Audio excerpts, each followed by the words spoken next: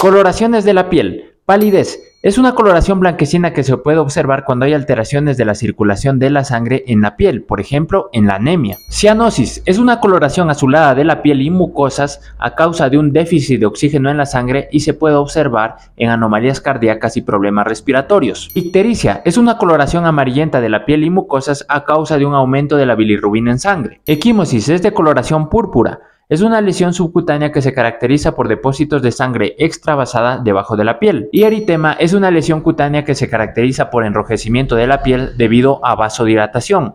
No te olvides, dale me gusta y sígueme para más contenido médico.